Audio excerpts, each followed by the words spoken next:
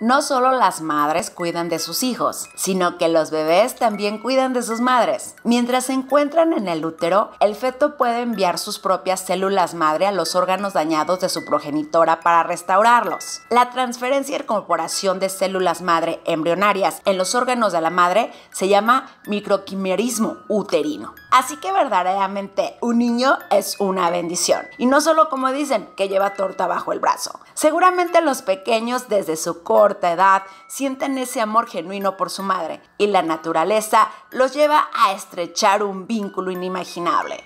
Para nuestro día, Brenda Prado.